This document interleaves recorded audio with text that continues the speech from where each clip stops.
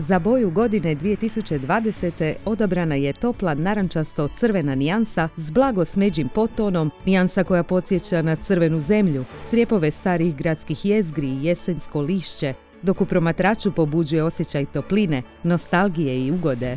Tamno narančasta nijansa posebno se lijepo ističe u kombinaciji sa srodnim nijansama toplog spektra i uz blještave glamurozne detalje. Za suptilan umirujući učinak ambijenta, boju godine možemo kombinirati sa nježnim bež nijansama, pletenim mekim teksturama ili drvetom koje odiše svježinom prirode.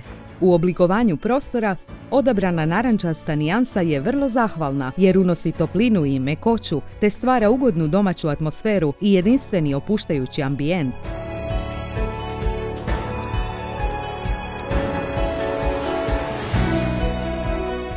Zbog svoje neupadljive naravi dobrodošla je i na fasadnim površinama.